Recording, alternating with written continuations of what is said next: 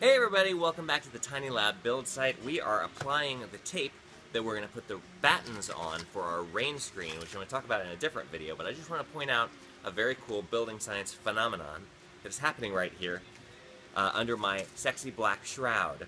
It's stack effect. So you can see that it's ballooned up. I have essentially made a hot air balloon out of my house.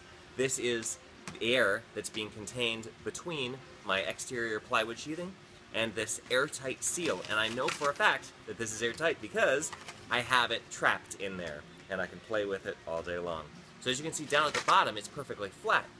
And that's because stack effect is dictating that there is a high pressure system in the top where all of the air is trying to be because the sun is beating down on this black shroud, heating up this air behind it. So it's all trying to get out of the top, and that means that at the bottom, it's all trying to uh, get sucked in if any of this were to leave, which it's not doing. So I'm very happy about this. We're going to find out more about how exactly airtight this is with the second blower door test, which you should stay tuned for.